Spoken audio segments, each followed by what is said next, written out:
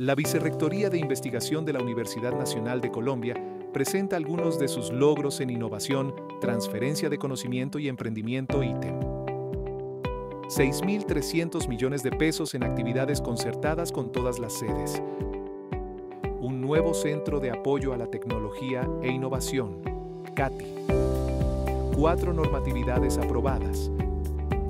12 nuevas iniciativas de apoyos económicos a actividades de ítem dos actividades de mentorías en ITEM, 24 nuevas patentes aprobadas, cuatro nuevos equipos de apoyo y OTRIS creados, 7 spin-off, 10 semilleros de innovación, transferencia y emprendimiento, 17 nuevas actividades académicas y cursos, entre los que podemos destacar eventos de divulgación en todas las sedes.